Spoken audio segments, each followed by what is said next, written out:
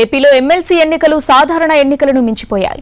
నాలుగు స్థానాల్లో గెలుపును పార్టీలు ప్రతిష్టాత్మకంగా తీసుకున్నాయి. ప్రలోభాలకు తెరలేపాయి. కొన్ని చోట్ల ఓటుకు ఐదు వేలు మరికొన్ని చోట్ల ఐదు వేలు ఇచ్చేందుకు రెడీ అవుతున్నాయి. కొందరు అభ్యర్థులు ప్రత్యేకంగా గిఫ్టులు పంపిణీ చేస్తున్నారు. ఏపీలో స్థానిక సంస్థల కోటాలోని తొమ్మిది స్థానాల్లో ఐదు ఏకగ్రీవమయ్యాయి.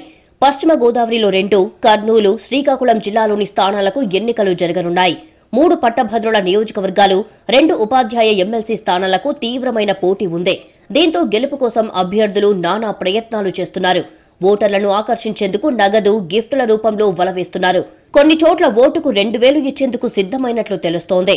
అభ్యర్థులతో కలిసి అంతర్గత సమావేశాలు నిర్వహిస్తూ ఓటర్లను ఆకర్షించేందుకు పార్టీలు తాయిలాలకు రెడీ అయ్యాయి. వైసీపీ టీడీపీ పీడీఎఫ్ నేతలు తమ అభ్యర్థులను గెలిపించుకోవడానికి వ్యూహాలను సిద్ధం చేసుకుంటున్నారు. ఉపాధ్యాయ అభ్యర్థులు ఓటర్లను ఆకర్షించడానికి గిఫ్ట్ బాక్సులు నగదును సిద్ధం చేస్తున్నట్లు సమాచారం. కొందరు అభ్యర్థులు ఓటర్లకు ఐదు వేలు ఇచ్చేందుకు సిద్ధమైనట్లు ప్రచారం సాగుతోంది. మరోవైపు పట్టభద్రులకు సంబంధించి ఓటర్లకు వెయ్యి రెండు వేలు ఇవ్వడానికి ప్రధాన పార్టీల మద్దతుదారులు రంగంలోకి దిగినట్లు సమాచారం. ఉత్తరాంధ్ర పట్టభద్రుల ఎమ్మెల్సీ ఎన్నికల్లో ప్రలోభాల పర్వానికి తెరలేచింది. తొలిసారి ప్రధాన పార్టీల అభ్యర్థులు బరిలో ఉండటంతో పోటీ అనూహ్యంగా పెరిగింది. దీంతో ఓటర్లను ప్రభావితం చేసేందుకు లోపాయికారి ప్రయత్నాలు ఊపందుకున్నాయి. సాధారణ ఎన్నికల తరహాలోనే ఓటర్లను ప్రభావితం చేసేందుకు నగదు పంపిణీ లోపాయికారిగా జరుగుతుందనే ప్రచారం ఉంది.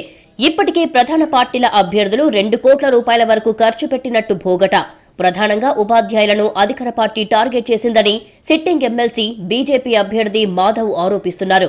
వైసీపీ టీడీపీ పీడీఎఫ్ అభ్యర్థులు తమ మద్దతుదారులతో సమావేశమవుతూ ఎన్నికల్లో గెలుపొందేందుకు వ్యూహాలను రూపొందిస్తున్నారు.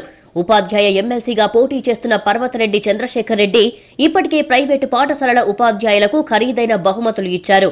మండలానికి ఒక ఇన్ఛార్జిని నియమించి వారి ద్వారా ఓటర్లను ప్రభావితం చేస్తున్నారు.